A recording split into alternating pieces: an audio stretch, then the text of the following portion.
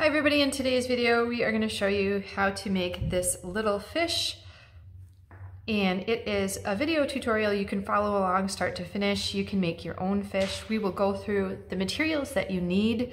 We will also include the link to the paper pattern if you do want the paper pattern to follow along with. That's at Rabbitry and Yarns. Go to the pattern section up top and this is called our bubble fish pattern. So let's get started. You're gonna need yarn to start out. We use the Wool of the Andes worsted weight in Aloe Heather. We use, for the mouth, the Wool of the Andes worsted weight in Blossom Heather. There's a bit of fluff that we use. We use 100% organic cotton stuffing. That's what we prefer. We have our stitch marker, our favorite scissors, the Westcott titanium scissors, we use those for all sorts of things. We have our J10 6 millimeter hook. We have some safety eyes. These come in multiple different colors.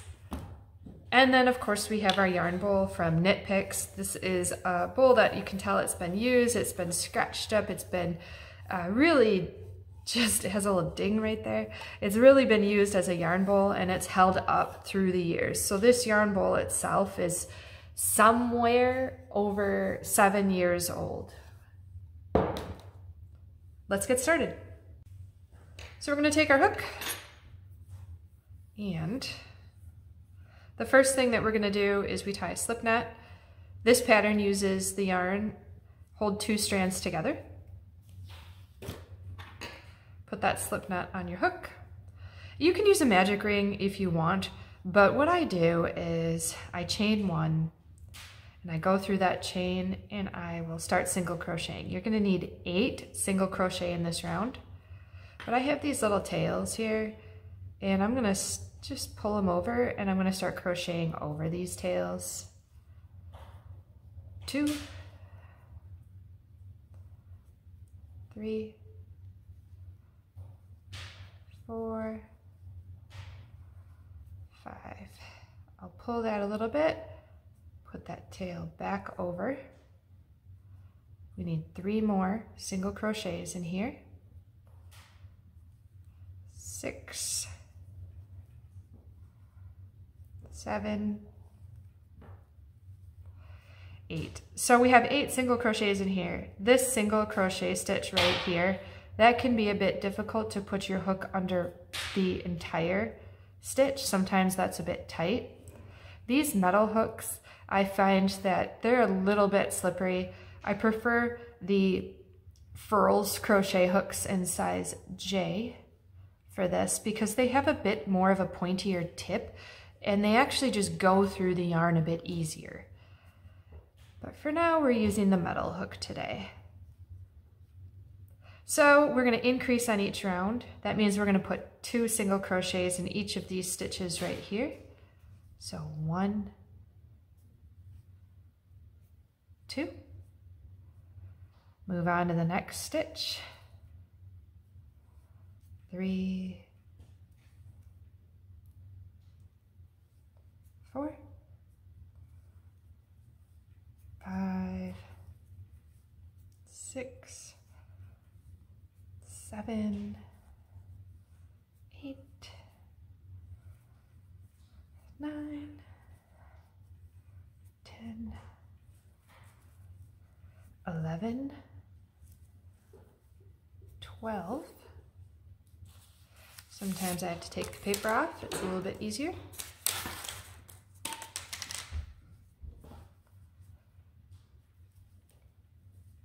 Thirteen, fourteen, fifteen, and 16. So that's the end of our second round. We did our increases. One of the things you don't want is that big hole right there. So the reason why I crochet over these loops, it makes it a little bit easier to close up that hole to kind of make the center of that um, fish head closed up like you see. For round three, what we're gonna do is we now need to do an increase. So two single crochet in the first stitch and then one single crochet in the next. We're going to repeat that the entire round. That's going to bring us all the way up to 24 stitches. Right now we're at three stitches. So increase, single crochet. Now we're at six stitches. Increase,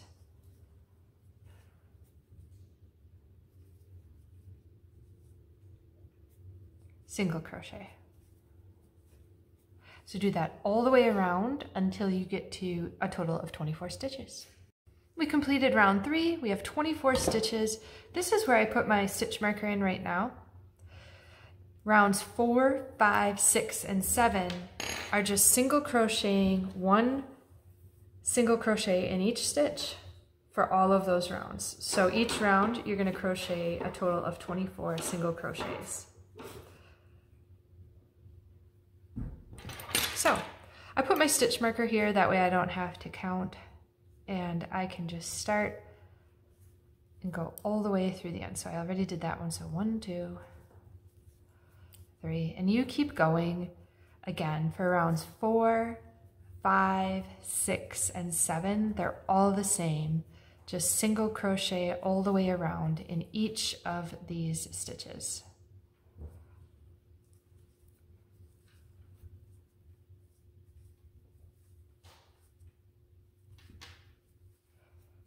So let's fast forward and we'll get to the end of round seven now.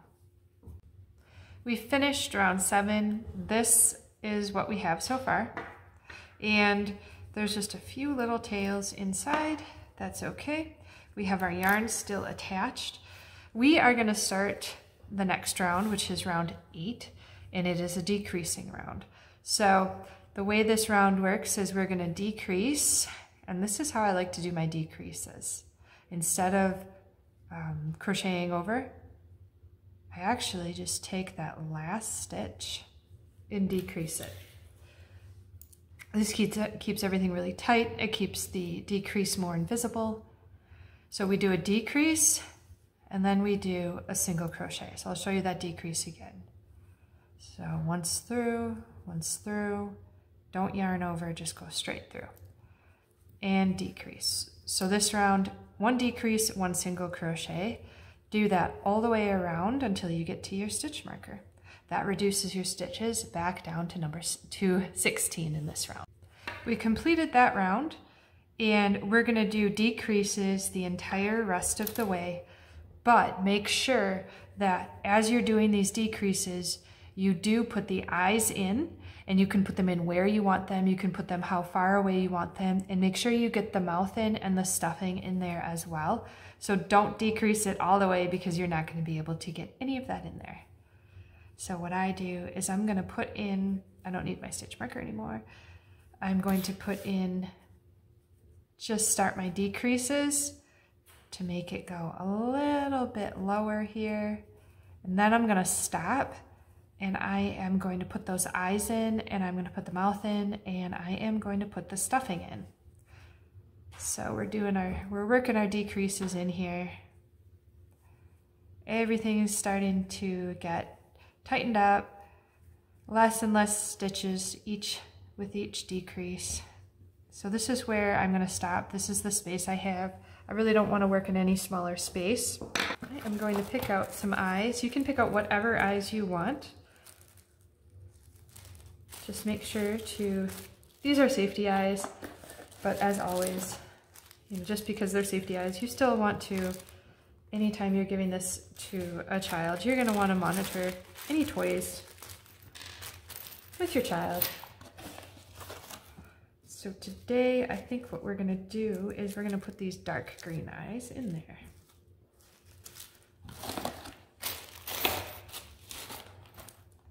So these eyes you have all sorts of cool little choices with them and they are actually glittery. So you just build the eye, putting the piece on, choose where you want it on your fish, and then you place the back on. So then that's the same thing for the next eye. Just build your eye, put that iris in there. The iris is the colorful part of the eye. Put it in the same the same row. So don't don't put it up here, don't put it down below, unless that's what you want your fish to look like. Then that's entirely up to you. Or I suppose you could have a one-eyed fish or a three-eyed fish. It doesn't really matter. You could have lots of eyes on your fish. And you don't have to use safety eyes. You could use um, yarn and you can just put some eyes on with the yarn. So we have our eyes on here. Now it's time to put the mouth on. And I just use my crochet hook to do this. So I'm gonna pull it a little bit and I'm gonna take it out. You can put your fish mouth on as big or as small as you want. The way I do it is I kind of bend the yarn a little bit. I go slightly underneath the row that I have the, the actual eyes in. So I kind of pull it through a little bit and I go over two stitches and I pull it through again. I didn't cut it just yet because I want to make sure I have enough yarn to work with. So I can cut it now.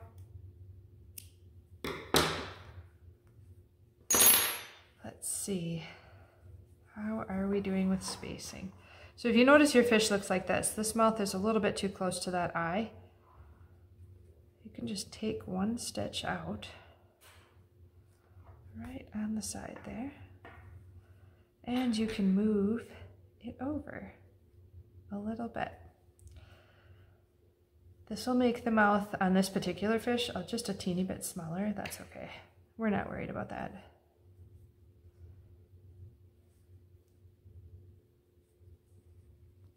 Okay, so we'll take a look. That's more centered. And that's something that you do want to check with your animals when you make them. Unless you want your fish to have like a side smile or something like that. Maybe it's like smiling very slyly. That might work. So we're just going to secure this, these little, this little fish mouth. We are going to tie it. Sometimes using a smaller crochet hook is helpful. But I just use the two pieces of the yarn and I gently tie them together. You don't want to tie this too tight because the lips disappear on the, the, the fish mouth disappears. So you can still see it just a teeny little bit. Now we put our hook back into our loops and we are going to put stuffing in it. So how firmly you stuff your fish is entirely up to you. I don't like an entirely, I'll take that hook back off because that's being loud, but I don't like an entirely super stuffed, firm fish. But it needs to be able to, over time, hold its shape. If you have kids playing with these little fish, you don't want them, um, the fish losing its shape. And one thing you have to remember is any stuffing will compress over time. So this particular stuffing is 100% organic cotton stuffing. That's what I recommend. We definitely can choose that sort of stuffing to help reduce the amount of plastics. In fact, the only plastics on this are the safety eyes. And again, you don't even have to use them. You can use yarn and you can just um, sew or crochet the yarn on, the eyes on using the yarn. So you can make this project 100% plastic free. You don't have to use a plastic stitch marker. You can use scissors that don't have plastic on them. There's a lot of different options to make this an even more um, friendly pattern. Okay, so that's about as firm as I want this. Keep decreasing all the way and then simply tie off your center. So we're gonna do a couple more decreases here. And again, every time we do a decrease, that's one less stitch that's around. You can also, if you want, if you get to a point where it just becomes too fiddly that you're working with it, you can just loop the yarn through the rest of the stitches and tighten it up, tie it off. Sometimes, very rarely I do that, but more than likely I'll actually add these additional um, decreases in here to close off a project like this. So we're almost done. We actually have one, two, three, four. We have five stitches total left. And I think this is going to be one of my last decreases because as you can see, the center hole that we're working through becomes very small. So now we just snip the yarn and we're gonna tie this off. One thing I will do just to make sure it is tight when I use this particular method is I will go through one of the additional stitches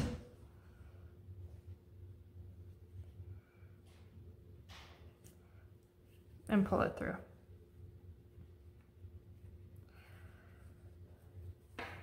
So tying in ends is something that there's a couple different ways to do it. The way I prefer is in this particular project where I've got two strands of yarn I'm working with, I'm gonna loop one through,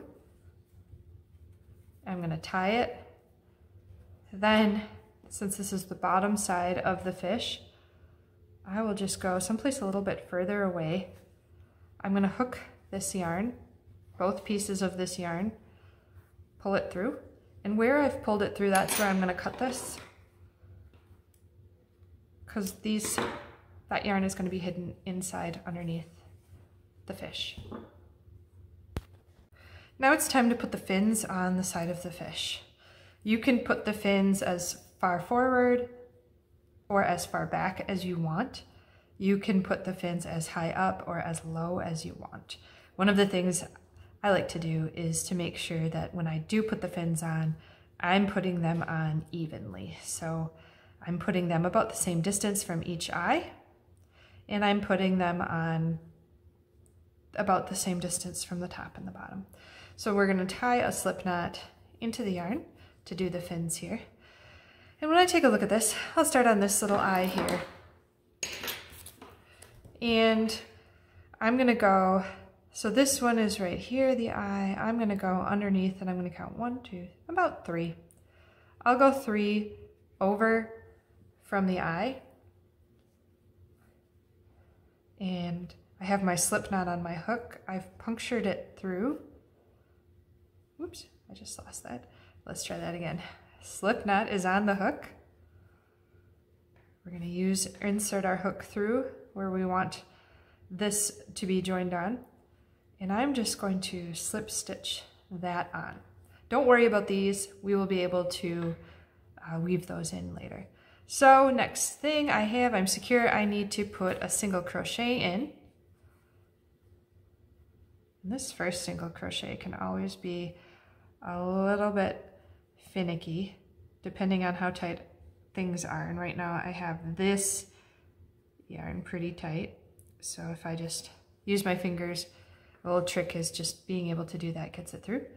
Now we're gonna put in a half double crochet. These fins are fast to make. Double crochet, half double crochet. This is all in that same stitch.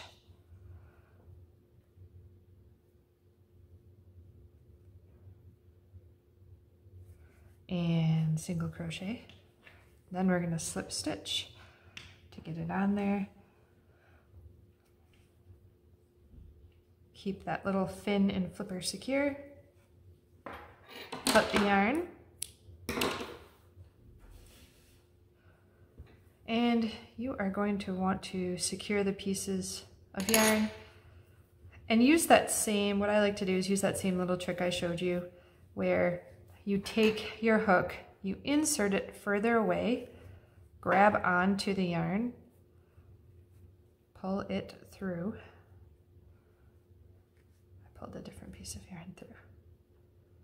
So you do end up with a, quite a bit of uh, pieces of yarn inside your fish, but that's okay. So anything sticking out at this point, I just clip off. So we're gonna do that on the same side. So we make sure that's secure. We're gonna reach in a little bit further away. And sometimes on these shorter bits of yarn, the whole thing just gets hidden inside. So one flipper is done. You repeat that on the other side. We are going to make the tail now. Start out with a slip knot. So one of the things you can do is you can go, and this is what I did, but you can kind of go and use your hook to pull up a row of all of these different pieces of yarn that you're going to be working in. So you look at the center of the face and then you pull, you kind of just pull up and that gives you a line to follow. Some might be just a little bit off because this was crocheted in the round, but that's just a tip. So typically one of the pieces of advice I have is you can start at the middle and go one, two, three down. So it's kind of in line with those in the back and those fins. You're going to slip stitch to join this on. So you're going to have, you're to end up with one, one loop-de-loop -loop on that hook. And now all in that very same stitch, do the following. So you're going to single crochet and you're going to half double crochet. Sometimes these little tail bits of yarn can get in the way. Double crochet.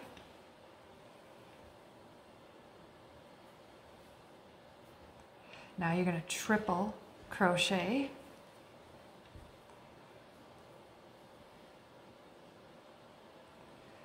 This is a little tight in here, just take your time. Put two chains in, and in that second chain from the hook, slip stitch.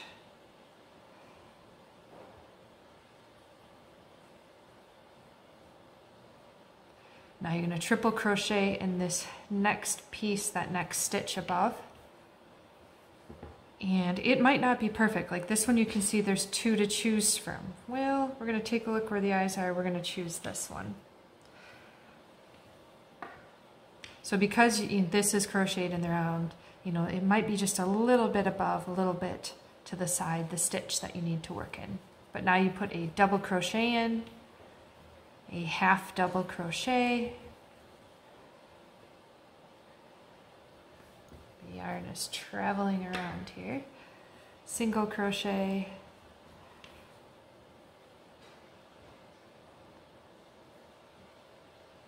And then you're gonna slip stitch.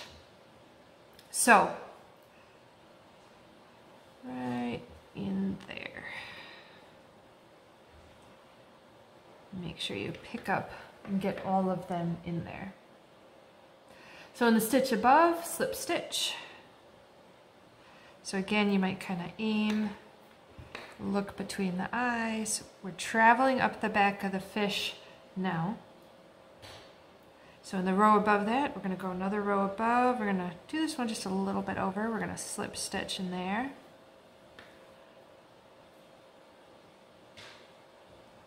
So the next one row above again, we're going to add that slip stitch in there, but we're going to keep working in that very same stitch. We are going to single crochet, half double crochet, double crochet, half double crochet, and single crochet all in this stitch. That means here's our single.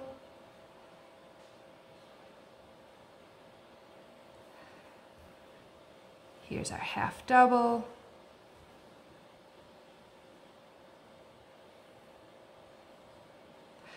Here is our double. Half double. We're working our way back down to smaller stitches. Single. Excellent. So this little fin is done. Moving on up, choose the next stitch up, slip stitch in that. And you're just going to keep repeating this process all the way till you have three of these. So that means we need to go and we need to do a single crochet. We need to do a half double crochet a double crochet and then work your way back down a half double crochet and then a single crochet. So do that as well. Keep moving up to the last fin.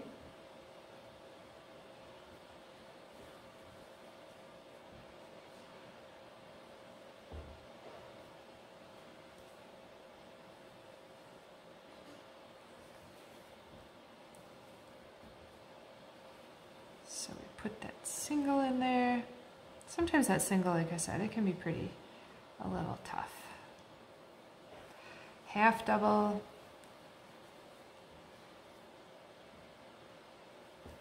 Double.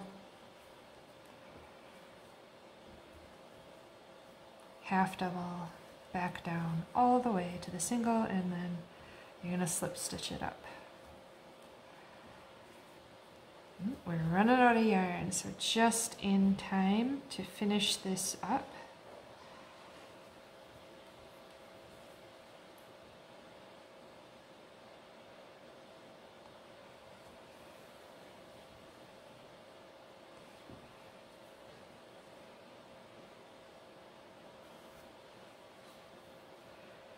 And you can get all those ends tied in. This is a little bit of a tight area. That's okay. I only want one of these strings because I'm going to try and tie it up.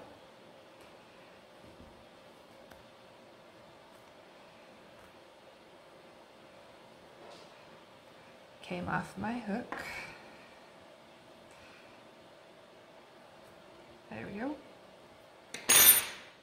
Different piece of yarn came through, that's okay. So we're gonna get this yarn hidden. You don't wanna see the ends of the yarn poking out from the fish. When you're doing this, try not to grab the stuffing. That's what I just did, I grabbed a bit of stuffing. We don't wanna pull the stuffing out of the fish, we want the stuffing to stay in the fish. So make sure this bottom part is done as well.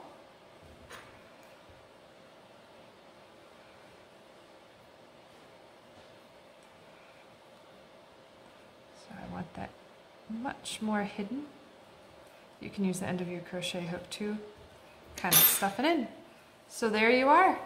There is your adorable little fish.